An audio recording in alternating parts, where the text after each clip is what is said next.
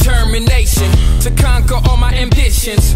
Despite all the conditions, in light of my past decisions, made it to this position, and so my disposition, not seeing no limits, killing the competition. Yeah,